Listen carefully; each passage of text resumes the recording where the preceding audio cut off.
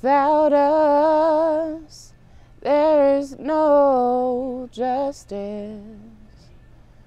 Because justice is just us being just us.